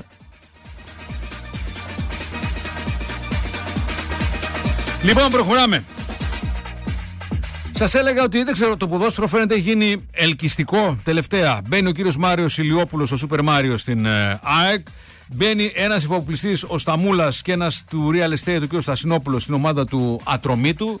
Και ξαφνικά λες, τι γίνεται; Έγινε ε, ε, ελκυστικό το προϊόν. Εκεί που δεν κουνιέται φίλο είναι στον, στον Άρη.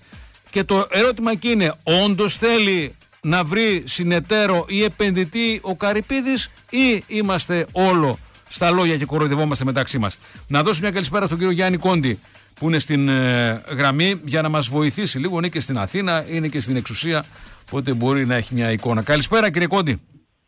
Καλησπέρα, τι κάνετε; Μια χαρά. Στον Άρη δεν έχουμε κανένα επενδυτή. Βρήκε η ΑΕΚ, μπήκε ο Μάριο. Έρχεται εδώ εφοπλιστές στον Ατρόμητο. Ο Άρης που είναι τόσο μεγάλη δύναμη με τόσο κόσμο, γιατί δεν μπορεί να βρει έναν άνθρωπο να τον στηρίξει. Κοιτάξτε, για να υπάρξει κάποιος πρέπει να εμφανιστεί και να κάνει μια πρόταση. Ναι.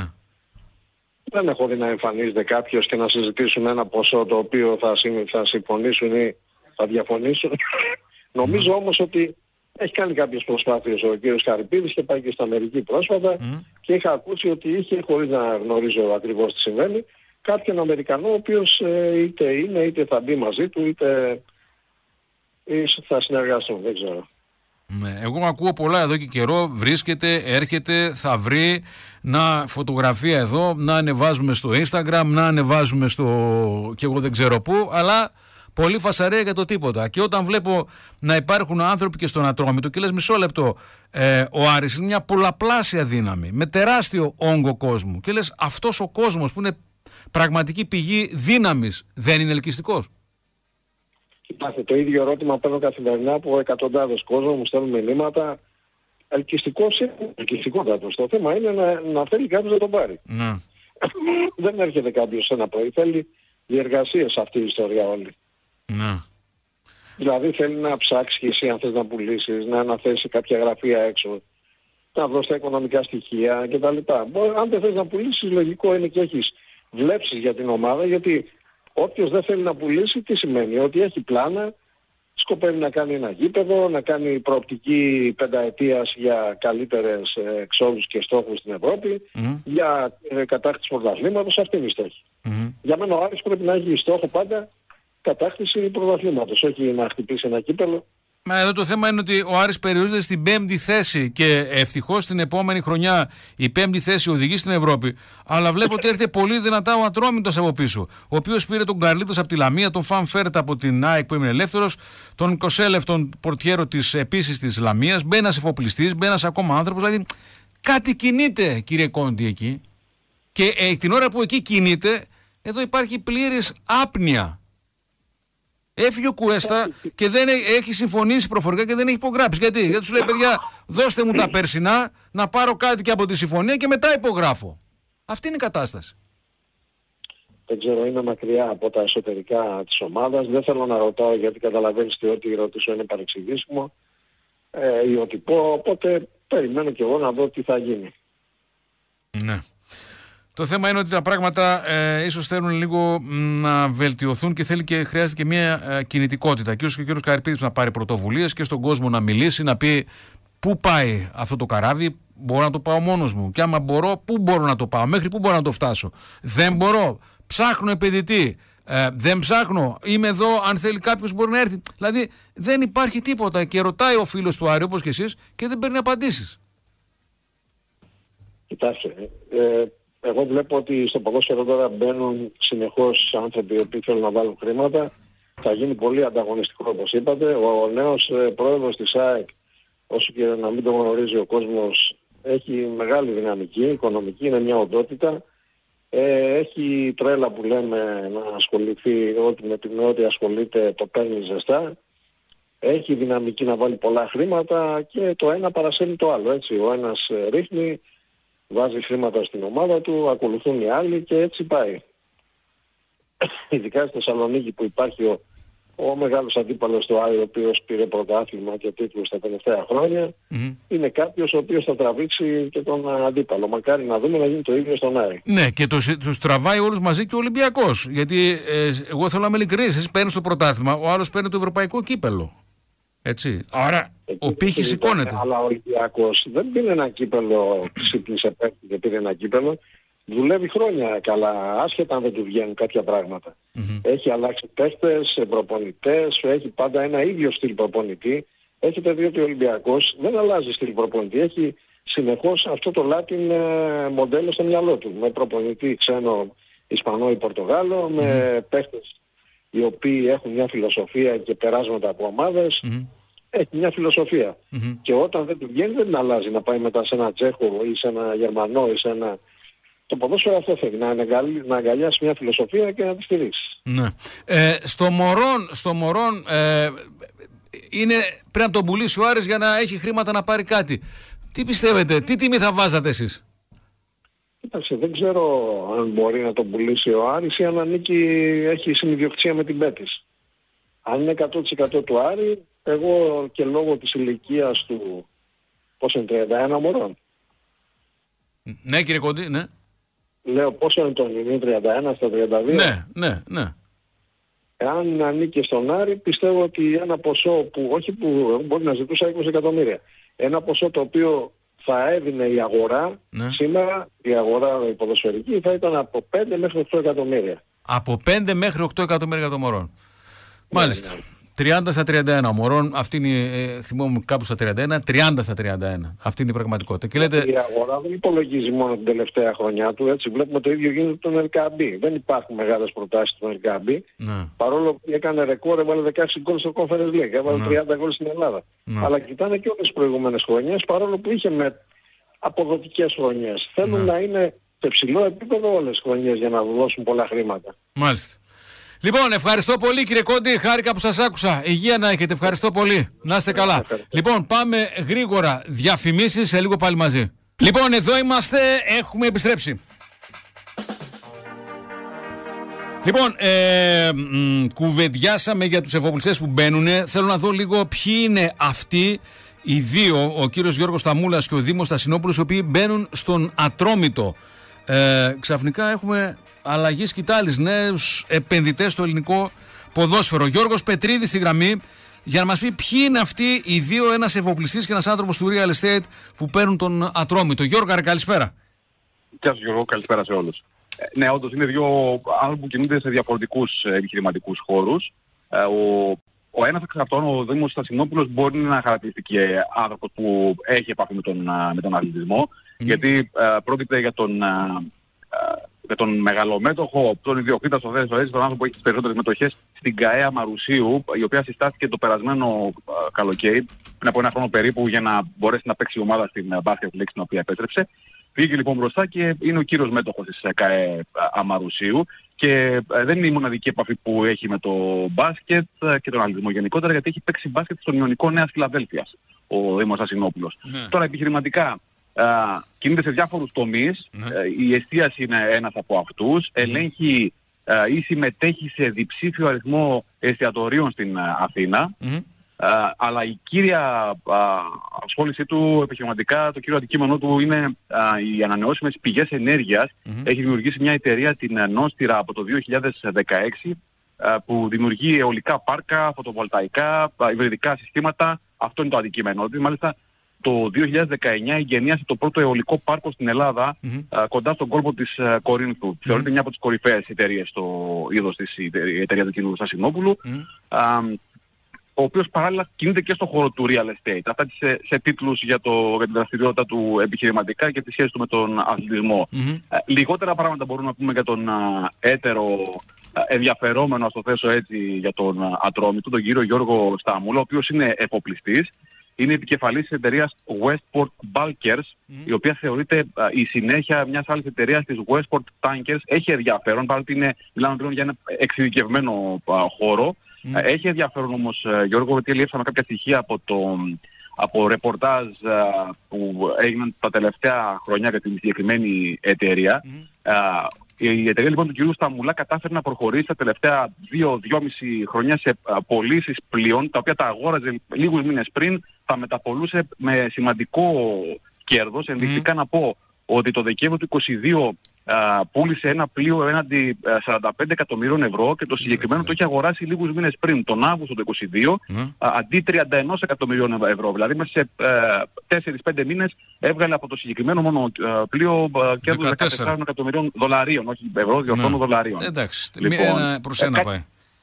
Κάτι ανάλογο έκανε και, τα, και σε ε, άλλες περιπτώσεις πλέον τα τελευταία χρόνια. Αυτό προκύπτει περισσότερο από την ε, συγκεκριμένη ε, πλευρά, από τον κύριο Σταμούλα δηλαδή, ο οποίος είναι εφοπλιστής. Και μένει να δούμε τώρα αν θα καταλήξει το, θα, το deal, αν θα φέρει αποτέλεσμα και αν θα βγουν στην, επι- στο προσκήνιο και στο ελληνικό ποδόσφαιρο. Μάλιστα. Λοιπόν, αυτοί είναι οι δύο άνδρες που μπαίνουν στον ε, Ατρόμητο, όπως λέει το ρεπορτάζ. Γιώργος Πετρίδης μας τους ακτινογράφησε. Γιώργο, μου ευχαριστώ πάρα πάρα πολύ. Να είστε καλά, Γιώργο. Ευχαριστώ πάρα πολύ τον ε, Γιώργο Πετρίδη. Θέλω να είμαστε ενήμεροι για ό,τι ε, συμβαίνει και να βλέπουμε και την πραγματική διάσταση αυτού που συμβαίνει. Όχι μόνο την επιφάνεια, να βλέπουμε και από πίσω και να ψάχνουμε και την ουσία του πράγματος.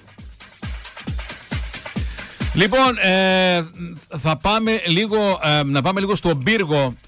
Πραγματικά είναι ασύλληπτο αυτό που ε, συνέβη, όπου ο 37χρονος θείος ε, σκότωσε την 11χρονη ανιψιά, ε, προσήχθη, συνελήφθη και την ε, ώρα έξω από τα δικαστήρια εκεί υπήρχαν συνδυ- συγγενείς 11χρονης οι οποίοι έσπασαν τον αστυνομικό ε, κλειό και αποπειράθηκαν να λιτζάρουν τον δολοφόνο.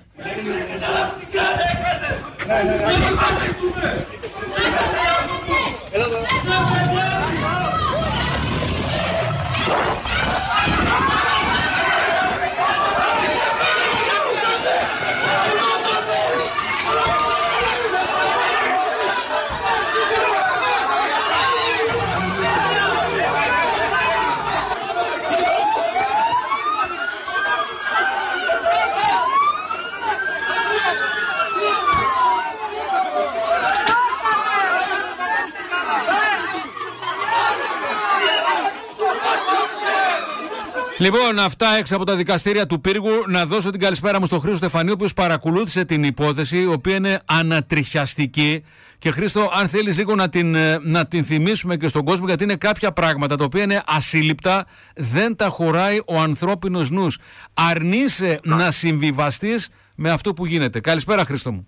Καλησπέρα. Σοκαριστικό το ηχητικό, ακόμη πιο σοκαριστικό το βίντεο, Γιώργο. Ναι. Και ακόμη πιο σοκαριστική ατμόσφαιρα που επικρατεί εκεί στο, στα δικαστήρια του Πύργου, όπως μου μεταφέρουν συνάδελφοι με τους οποίους μίλησα πριν από λίγο και πραγματικά και οι ίδιοι ε, συγκλονισμένοι από αυτή την εξέλιξη. Να πω μόνο ότι σύμφωνα με τα τελευταία στοιχεία και τις πληροφορίες που έχουν ήδη και μου είπαν ότι φαίνεται να μην προκύπτει βιασμός από την ιατροδικαστική εξέταση. Τουλάχιστον αυτή την πληροφορία έχουν δεν είναι ε, ακόμη κάτι επίσημο.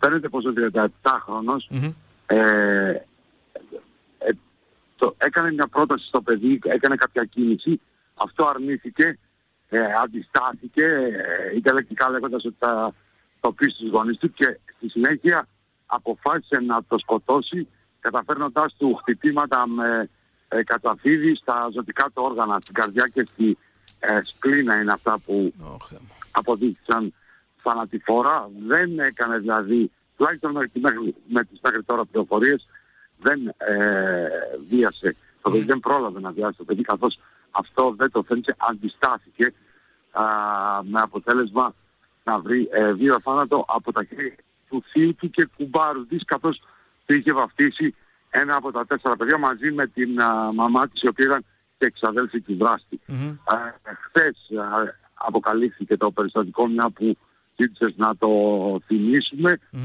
Αυτή η οργή προκύπτει και από τον τρόπο που έγινε το φωνικό αλλά και, και το συγκεντρώνω αλλά και της κοινής γνώμης αλλά και από τον τρόπο με τον οποίο φερόταν ο δράστης Γιώργο καθώς μετά την δολοφονία του παιδιού Ναι. επέστρεψε σπίτι του πήγε για ύπνο κανονικά, πήγε στη δουλειά του την επόμενη μέρα Ναι. έχοντας σκοτώσει ένα δεκάχρονο όχι άγνωστο παιδί ε, και, με, και στη συνέχεια άρχισε να α, α, πηγαίνει στην οικογένεια α, να κάνει εκκλήσεις, να συμμετέχει στην αγωνία τους να βρουν α, την 11χρονη. Όλο αυτό μαζί με το σκηνικό του φωνικού, όπως α, αντιλαμβάνεσαι και εσύ, έχει εξοργήσει όχι μόνο τους συγγενείς της 11χρονης, αλλά και την κοινή ε, γνώμη α, του Πύργου. Δεν έχει πει κάτι ε, που να δείχνει ότι μετάνιωσε μέχρι τώρα ο 37χρονος, ο οποίος θυμίζω α, πρόκειται για άνθρωπο που πριν α, 7 χρόνια, το 2017 και 2014 χρόνια και το 2020 είχε ε, φυλακιστεί σε 9 χρόνια.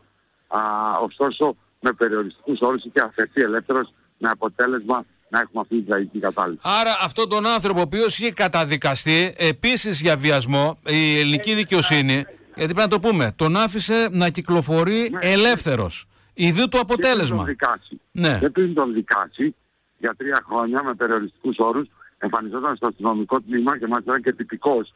Εμφανιζόταν πάντα την ημέρα και την ώρα που του είχαν ορίσει ε, το δικαστήριο στο αστυνομικό τμήμα α, του Πύργου. Αλλά ωστόσο ε, μόνο α, δεν το συνέτησε αυτή η καταδίκη. Αυτή η περιοριστική όρη και η καταδίκη τρία χρόνια αργότερα α, το 2020 καταδικάστηκε, το 2024 σκότωσε ένα κορίτσι με ένα γεμεθόλιο α, τρόπο είχε κλείνει το αυτοκίνητο ε, προσφέρθηκε το κλείνει το αυτοκίνητο εκείνο το βράδυ άκουσε ότι ήθελε να πάει ε, στον παππού του καθώς ήταν στο σπίτι του ε, μαζί με τους γονείς της ο δράστης πήρε το αυτοκίνητο α, προσφέρθηκε να την μεταφέρει και αντί να την πάει στον παππού της την πήγε περίπου 30 χιλιόμετρα από το χωριό Μυθιά όπου της σκότωσε. Ευχαριστώ πολύ Χριστό. Ευχαριστώ πάρα πάρα πολύ. Ευχαριστώ πάρα πολύ τον ε, Χρήστο Στεφανή. Παραλαμβάνω αυτός ο άνθρωπος είχε καταδικαστεί ε, πρωτόδικα διαβιασμό και το δικαστήριο έκρινε ότι μέχρι να εκδικαστεί η έφεση και το να γίνει το εφετείο μπορεί να κυκλοφορεί ελεύθερος αρκεί να δίνει ένα παρόν στο αστυνομικό τμήμα. Ε, το αποτέλεσμα το είδαμε. Αυτό είναι το αποτέλεσμα. Αυτός ο άνθρωπος αφέθηκε ελεύθερος. Είχε καταδικαστεί για βιασμό, τον αφήσαν ελεύθερο μέχρι να γίνει το εφετείο και βλέπετε ποια κατάληξη είχαμε τον να σκοτώνει. έναν- Κυρία Λαγκουλιώνη, stay alert γιατί ε, οι τέσσερις πρώτοι που θα τηλεφωνήσετε στο 2310 90 90 90 κερδίζετε τέσσερις διπλές προσκλήσεις. Οι τέσσερις πιο γρήγοροι. Για πού θα μου πείτε; 4 ε, Ιουλίου, μια νύχτα με τους ε, Queen. Ε, το Metropolis πάντα ήταν στα μεγάλα γεγονότα. Εδώ μιλάμε για την ε, tribute band The Bohemians, A Night of Queen. Αυτό είναι το ε, σλόγκαν της tribute band ε, The Bohemians που θα παίξει εκείνη την ημέρα. Λοιπόν, πάμε να δούμε τι γίνεται με τον, ε, με τον καιρό. Όπου ξαφνικά έχουμε καύσωνα και είναι αυτό που λένε που να σφίξουν και οι ζέστες. Και είμαστε ακόμα στον ε, Ιούνιο. Να δώσω μια πολύ θερμή καλησπέρα στο μετεωρολόγο μας, τον κύριο Μιχάλη Σιούτα. Αν και κύριε Σιούτα, όπως πάμε, πρέπει να λέω μια δροσερή αντί για θερμή καλησπέρα. Τι κάνετε, Πώς είστε; Καλησπέρα, καλησπέρα κύριε Μπούζο. Καλά, προσπαθούμε να προ... είμαστε προετοιμασμένοι. Ε, ε, θα έλεγα είμαστε εξοικειωμένοι με, με τις ψηλές θερμοκρασίες κάπως, καθώς ε, εδώ και πολύ και από το χειμώνα ήδη που δεν είχαμε και η άνοιξη ήταν θερμή.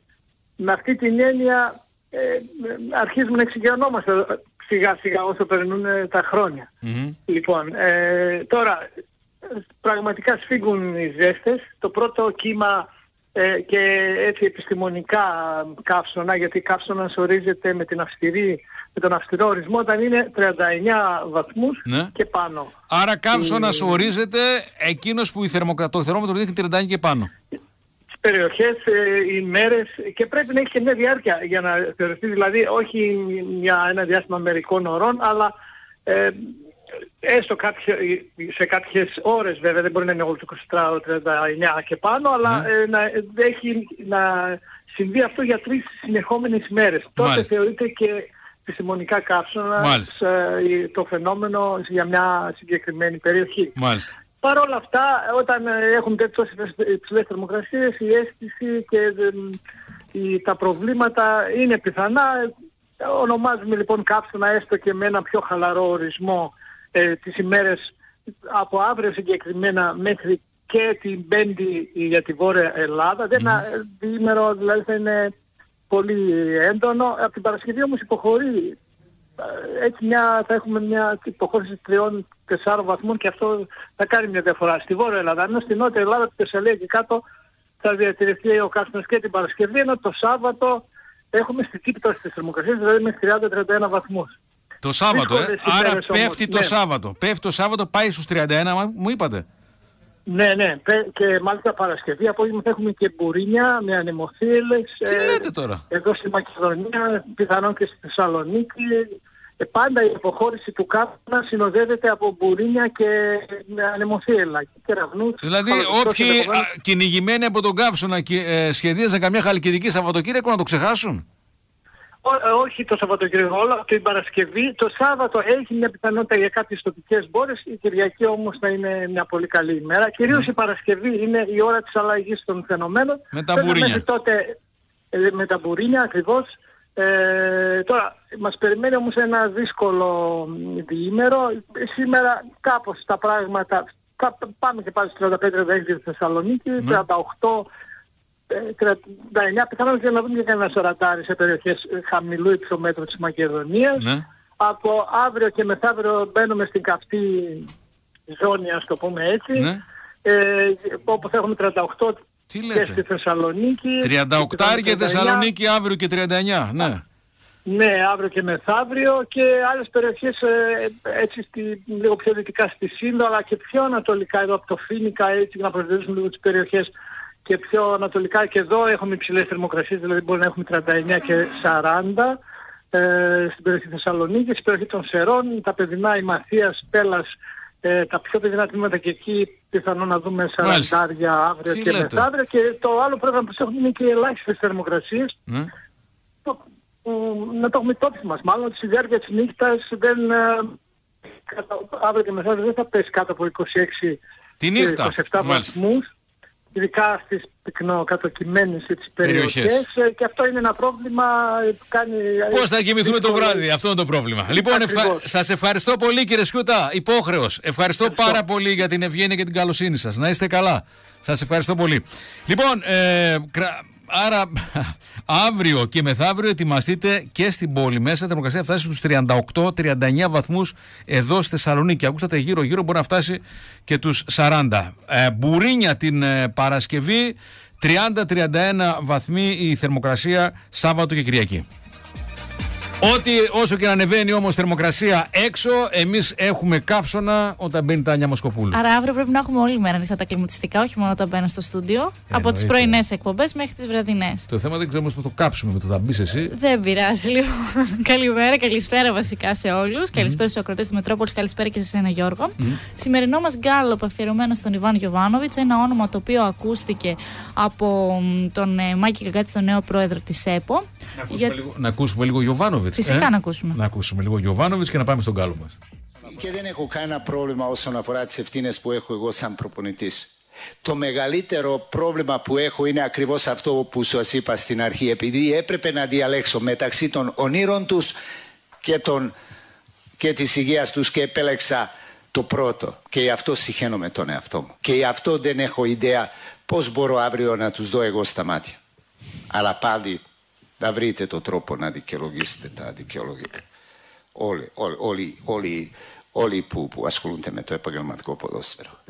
Καμία ομάδα δεν μας πήρε το πρωτάθλημα. Το χάσαμε μόνοι μας. Λοιπόν, αυτός είναι ο Γιωβάνοβιτς, Ελατάνια μου. Από ό,τι καταλαβαίνω και από τον Γκάλοπ και γενικά από όλη την αίσθηση που μας δίνουν οι ακροτέ, είναι ότι είναι ένας πολύ συμπαθής προπονητής και το διάστημα το οποίο ε, διατέλεσε coach του Παναθηναϊκού και γενικά σε όλες τις ομάδες που έχει περάσει από την Ελλάδα. Γι' αυτό και σήμερα συγκέντρωσε το 89%.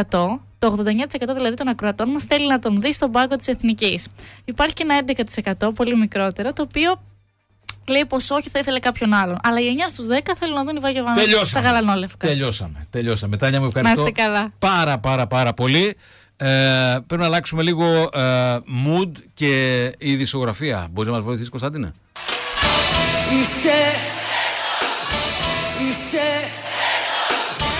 που πας σε μένα ναι με άλλη να συγκρίνεις Είναι τρελός, είναι τρελός Για μια σπασμένα σου το λέω Είσαι τρελός Αυτοί που σφράγισαν το κατάστημα, το μαγαζί που τραγουδάει πάρα, προφανώς ε, δεν ήταν φαν της τραγουδίστριας. Παναγιώτης Μανής είναι στη γραμμή, έχει περισσότερα. Καλησπέρα, Παναγιώτη. Ήταν, δεν ήταν τη δουλειά τους έπρεπε να κάνουν.